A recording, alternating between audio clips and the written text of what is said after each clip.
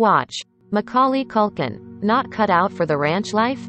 Tonight's all new Relatively Famous. Ranch rules ended with a shocking meltdown from Myles O'Neal. After a long, hard day of work, which included artificially inseminating a cow. The whole cast was exhausted, but no one was feeling more distressed than Shaquille O'Neal's 24 year old son. Obviously, we're not ranchers. I definitely was not meant to be in this environment, and over it Myles confessed. It's just horrible. It's all horrible and I don't like it. I don't know how much longer I can deal with it. Cut to Myles taking off his mic pack and refusing to put it back on for production.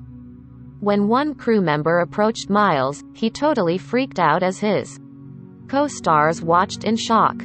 Sometimes you really be, like, trying me. Myles told the crew member. It's his job, bro, Austin Gunn told Myles.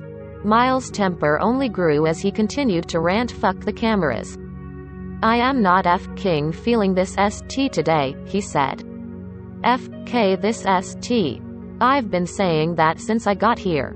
Jasmine Lawrence weighed in, you know, we are on a show.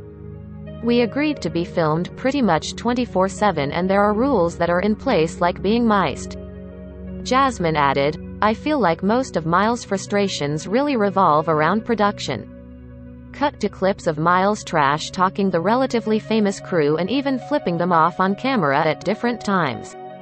Things came to a head when Myles started forcing his co-stars to remove their mic packs. As the episode ended, an end card revealed Myles' relatively famous fate. Myles did not continue with the show after tonight's events. Catch up on Relatively Famous here.